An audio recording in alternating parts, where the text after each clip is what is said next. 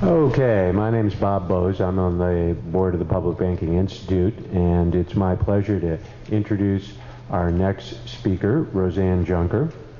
And um, I'm just going to read off of our website here. Uh, after finishing her doctoral dissertation on state-owned Bank of North Dakota, Rozanne worked as Governor Jerry Brown's deputy director of California's Pension Investment Unit and as a legislative economist for U.S. Senator Mark Andrews, Republican, North Dakota. She is now the founding executive director of First Graduate, an organization that helps young people finish high school and become the first in their families to graduate from college. She is the author of The Bank of North Dakota, an experiment in state ownership, 1989, and is featured in the half-hour video The Bank of North Dakota on prairiepublic.org. Uh, video links, uh, I, I, I, can't give you a URL here, um, audio-wise, but um, her conference presentation will address the questions, how has the BND managed to survive politically, and what difference has it made to the economic well-being of the state? And uh, Rozanne Junker, please.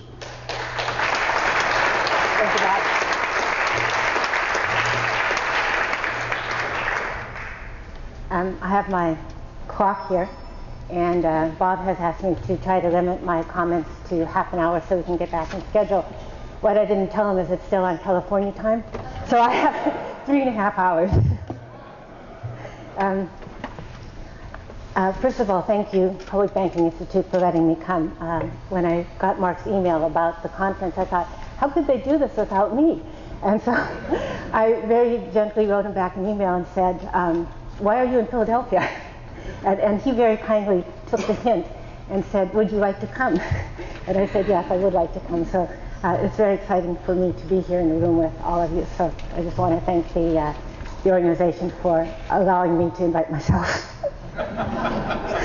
um, how many people have been to North Dakota? Well, that's pretty cool. You might have. And, and, for those people who haven't been to North Dakota, how many people have met somebody from North Dakota? And it can't be me and it can't be Ed. okay. You what does your psychologist say about that? well, I want to just um, uh, put you in touch with a few famous people from North Dakota. We are not simply a state of farmers, but um, we have had famous TV personalities, famous um, um, politicians, we have had famous uh, news commentators, movie stars, musicians, um, and I'm going to see if you can guess who they are. Uh, okay, who's, this is the hardest one. I'm going to give you the hardest one first so that you end up on a very successful note. Who is the CBS, or CBS, yeah, the CBS news commentator who was the first person to report the fall of Paris in World War II? From North Dakota. Uh, he was an Edward R. Murrow boy, as they were known. First name Eric? Okay, good, good, good, good. 50% on that one. Uh, okay, now we also have great sports personalities. Who is the uh, three-time winning coach for the Chicago Bulls and three-time winning coach for the LA Lakers? Phil Jackson. 100% on Phil. We'll stay in the sports mode. Um, who broke Babe Ruth's single season home run record? Roger Maris. Very good. I should take your names here. Go on to music.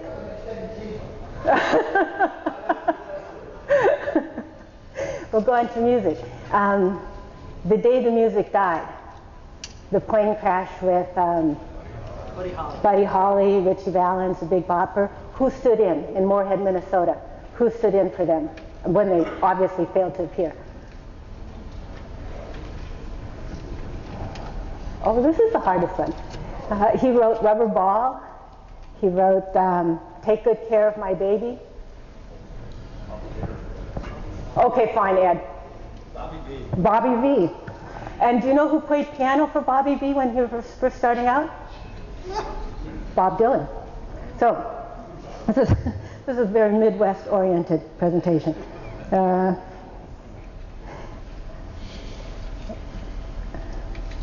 how about this one? The third, no, the third sexiest television star of all time.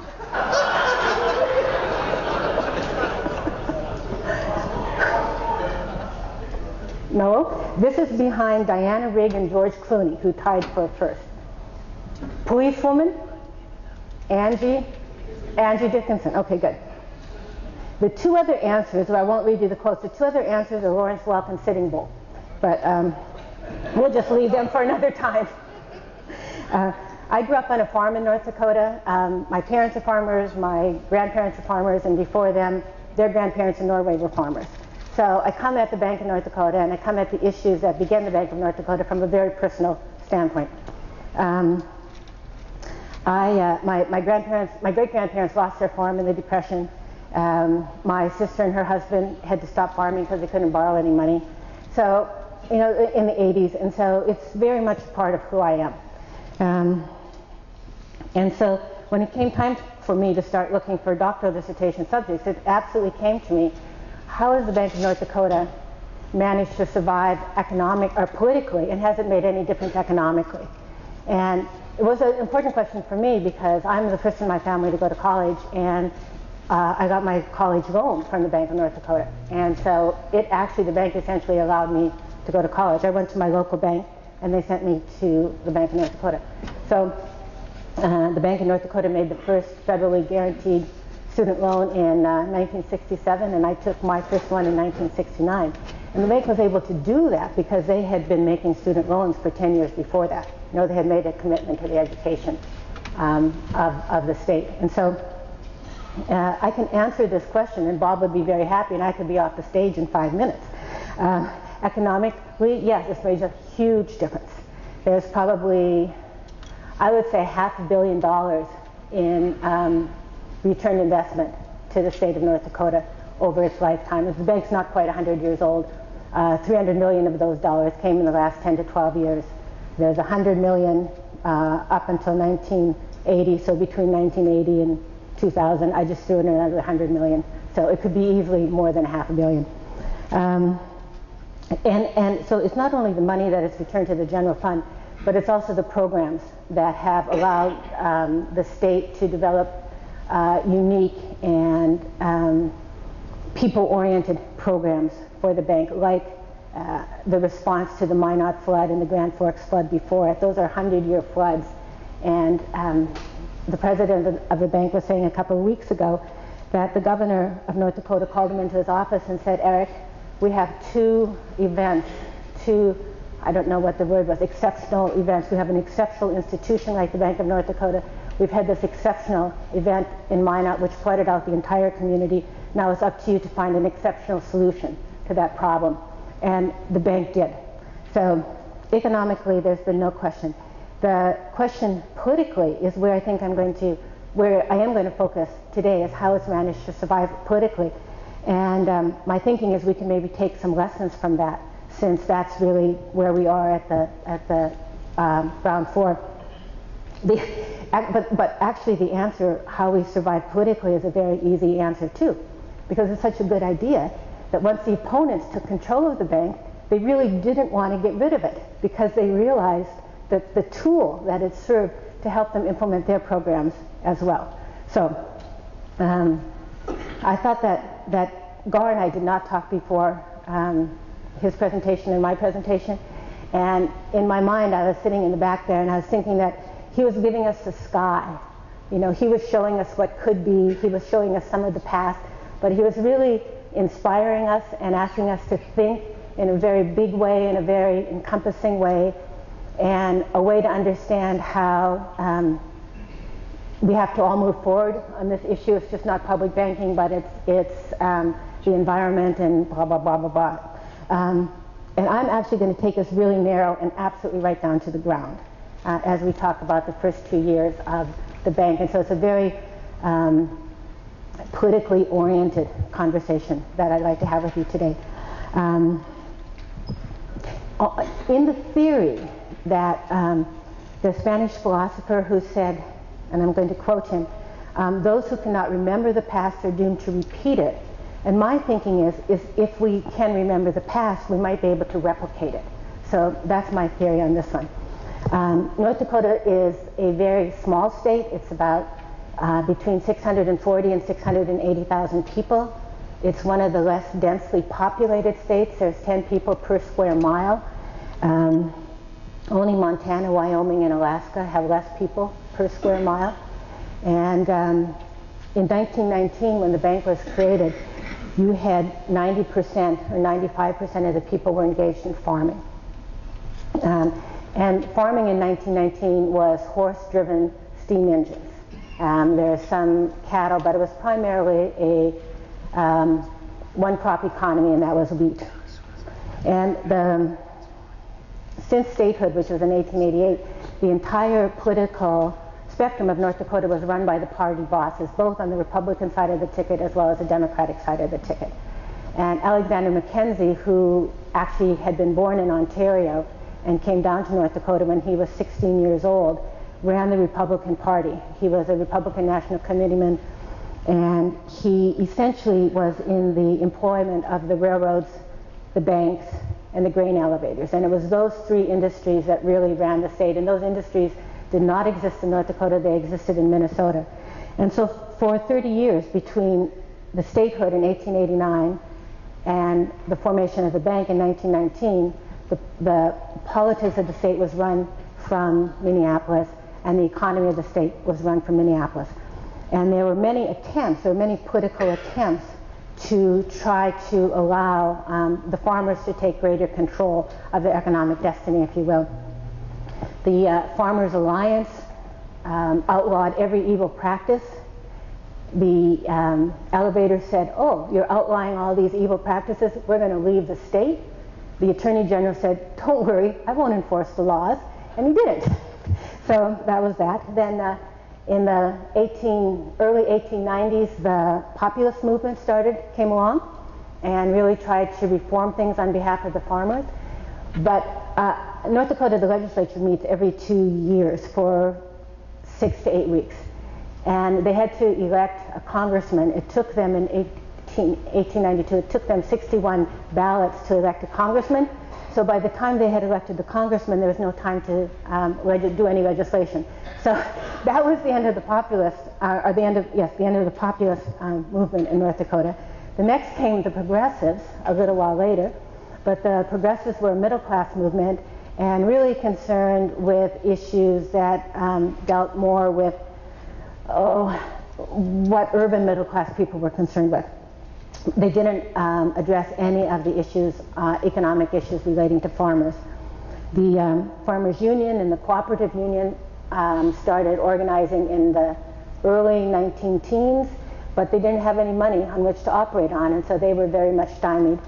Um, which actually, there's, I have 10 tenants in this, in this presentation. Um, so I guess really what that says to me is that there was a need for change. There's no question that there was a need for change. That 95% um, of the population was engaged in farming, 95% of the population was being ripped off by big business, and um, even the banks agreed. U.S. control of the currency said that two-thirds of the nationally chartered banks were charging usurious interest rates. So there's, and, and the North Dakota Bankers Association agreed with them, and yet the, there was no political will um, to change. There's no attempt to regulate private banking, and the industry had no attempt, had made no attempt to um, regulate it itself. So the Nonpartisan League started the bank, um, started organizing the farmers. The Nonpartisan League came out of the socialist movement. Uh, the socialists were fighting among themselves, trying to decide whether education should be the priority or political action should be the priority. Um, one group felt that um, without education, there could be no political action. One group said, oh, you know, um, damn the torpedoes, uh, whatever, all, all, forget, I can't remember that one. Anyway, the other one said political action. Well, the political action uh, group um, succeeded from the Socialist Party and went on to organize the most successful uh, political organization the state has ever seen. And by 1919, the Nonpartisan League had taken control of the governor's office, the Supreme Court, the House of Representatives, and the Senate, and all of the other state offices. And so with that kind of support, um, they, in two months, created the state-owned Bank of North Dakota. They created an industrial commission to run the bank. They um, gave the state bonding authority to sell bonds to finance the bank and to sell bonds to um, develop a real estate mortgages or to provide real estate mortgages for the state. Um, there was there's a real sense that the reason the Nonpartisan League was successful is because it had separated itself from the party and it had separated itself from dogma. It wasn't about the left or the right. It was about we have a real problem here and we need a practical solution, hence the word nonpartisan. They ran their candidates on the Democratic side of the ticket, they ran their candidates on the Republican side of the ticket. Um, and they hired um, the first president of the North Dakota Bankers Association to run the bank. You know, so they're very clear that they wanted an institution that um, was going to be able to survive in the long run. Uh, and he, the, the president of the bank, um, made a commitment to work with the state bankers. And so one of the things he did after the bank was first organized was sit down with an advisory committee of state bankers and say, you know, try to lessen the antagonism of the um, political debates in the, uh, in the legislature and say, now we're here, how can we help you, how can you help us? And he agreed to a couple of things. He agreed to no branches of the state-owned bank, and he also agreed that the current deposits uh, that were in other banks, let's see, how do I say this? Um, the Bank of North Dakota to be financed needed the state's deposits to as working capital. If they were to get that working capital, that working capital had been now in the five or six hundred banks all the way around the state. If the Bank of North Dakota was to remove that working capital from those banks, those banks would fail. So they agreed to leave the state's deposits among the other private banks and to sell real, to sell bonds to capitalize themselves. So and and they were selling. They needed to sell in today's dollars 160 million dollars worth of bonds, both to capitalize the bank as well as to um, develop the lending policies. Um, the bank's mission uh, then is the same mission as it is now uh, to promote agriculture, commerce, and industry, and to serve the people of the state. And it's a very broad mission, and it gives um, a tremendous flexibility to policymakers. Um, unfortunately, I mean, one of the reasons that the bank agreed to work with the state bankers is it needed to sell those bonds to somebody. And you need to sell bonds to the people who have the money. And who has the money but the bankers? Um, so um, it was quite clear that um, the, the, the, president, Cathro, was attempting to um, assuage concerns, political concerns that the state had. But it was also quite clear that the local bankers were not willing to help them buy the bonds. And the um, kind of the fourth lesson is you can't have a bank without money. And so, hence, um, the opponents of the bank understood that if they could stop the sale of these bonds, they could stop a state-owned bank. And so the next two years, you saw, to me, I think, one of the most exciting um, political uh, uh, uh, say it again? Yeah, oh, thank you. you, saw, you saw a, you saw stuff shoved into these two years that you just can't imagine. Um, I guess you can't start a bank without money, and private. The other flip side of that is private capital is not going to give up easy. So a new political party was formed called the Independent Voters Association. Uh, you also have that sense of independent voters in the same way that you have the sense of nonpartisan. So to appeal to the independent farmers. Um, and the Independent Voters Association was to create a kind of mistrust among um, both the farmers in the state as well as the financiers outside of the state that this chaos and confusion in North Dakota was such that any investment in state-owned bonds, even though they were guaranteed by the state, any investment in those bonds would be an absolute waste of money. Um, and so they did. The Independent Voters Association, which, as you can imagine, was financed by Minneapolis, uh, by the banks and by the railroads and by the grain elevators. Um, in fact, the, the, the uh, attorney uh, who was representing the IVA was also the attorney for Great Northern Railroad. So that it, uh, they, um, they had a referendum. They brought forth a referendum uh, which forced the state voters to um, decide whether, in fact, they wanted the industrial, the Bank of North Dakota, and the, and the state voters voted seven times yes, we want the Bank of North Dakota. They had uh, an initiated measure which said we need to have an audit of the Bank of North Dakota and uh, public subdivisions can withdraw their funds. Both of those passed. So the assets of the Bank of North Dakota were cut in half. Um, and the audit, the audit actually found no problems with the bank, um, but it still created uh, that sense of confusion and chaos. Um, what I love is one of the um, one of the press in North Dakota, which did not support the NPL and did not support the public banking um, effort, called it the, the NPL the mouthing of long-haired radicals. And I thought, isn't that funny, you know, how history repeats itself, the mouthing of long-haired radicals. Um, there was also a recall election. So, uh, and the people eventually did agree to um, recall the nonpartisan league governor, attorney general, and commissioner of agriculture. There was um, also defections within the nonpartisan league itself. And I think, to me, in some ways, the most amazing thing is there were two Supreme Court challenges to the state-owned bank. Uh, came through, you know, came up through the state to the U.S. Supreme Court, and the Supreme Court held, in fact, in fact, that you could, if the people of the state wanted to have a state-owned bank, they could, and they had voted seven times to have a state-owned bank. Um, but all of this meant that the bonds didn't sell. You know, all they, they, there would be an attempt to sell the bonds. There would be an, uh, yes, we're going to, we've got a $3 million sale in 1919. The bankers from the railroads would come and say, or the, the lobbyists from the railroads would come and say, you can't buy these bonds. We've got, we're in front of the U.S. Supreme Court. You don't know if they're going to be any good or not.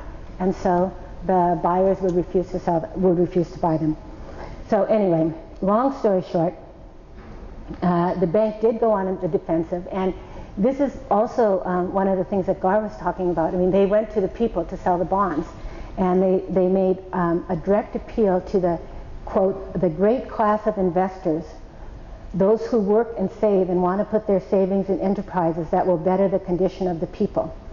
So people who bought the bonds included um, the Detroit mayor, the American Federation of Labor, the Public Ownership League, the Brotherhood of Locomotive Engineers in Cleveland, uh, the editor of The Nation, uh, the suffragette Alice Blackwell, Clarence Darrow, 23 um, people from 23 different states bought bonds in the Bank of North Dakota to support the um, to support the system. Um, at the end of 1921, um, October 1921, a company out of Toledo, Ohio, uh, Spitzer Warwick, finally decided to buy $12 million of the bonds. And uh, they decided to buy those bonds because of the success of the small sale. And with $12 million, the Bank of North Dakota could then go on to finance real estate uh, loans, to finance the state-owned mill of an elevator, um, to help finance the hail insurance, to help finance the home building association. Um, but of course, by then it was too late for the nonpartisan league uh, because the day after these bonds sold, the Independent Voters Association took control of the governor's office, the attorney general's office, and the commissioner of agriculture. So in a 24-hour period, you had the sale of the, of the bonds, which meant that the industrial program would go forward, and the Bank of North Dakota, Dakota would go forward. And then you turned over the control of that bank and the industrial program to people who didn't, who were philosophically opposed to it and who had spent the last few years trying to defeat it.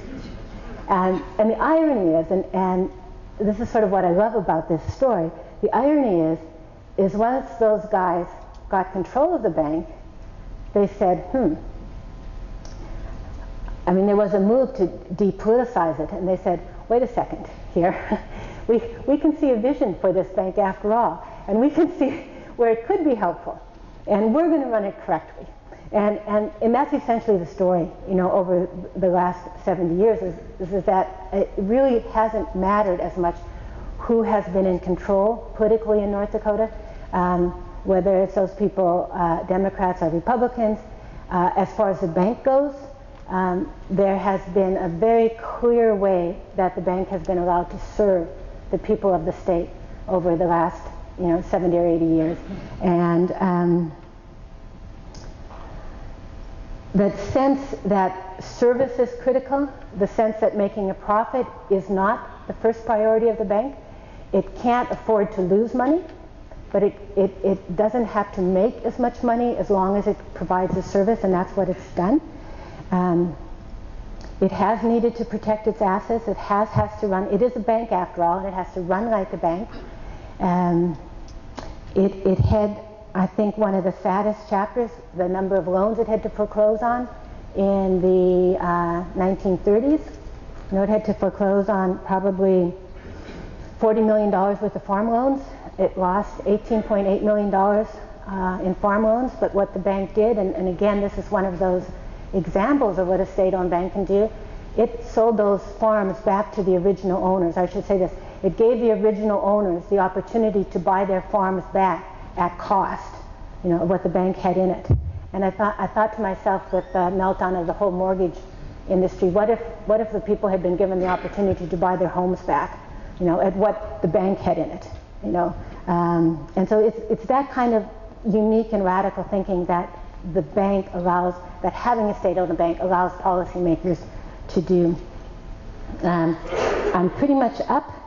Uh, the biggest question that I have, just as a person, is, and I think it's the biggest challenge, as you look to develop public banking, uh, the state of North Dakota has given um, the bank great leeway but it is also still run by a political bo- body. It's still run by an industrial commissioner, the governor, the attorney general, and the commissioner of agriculture. And in California, at least, probably the only people who are less respected than the bankers are the politicians. And so, how, how do we um, manage that issue? You know, how do we manage? Again, it gets back to the control of capital, and, and do we really? Well, I don't know the answer, so maybe you do. Anyway, thank you.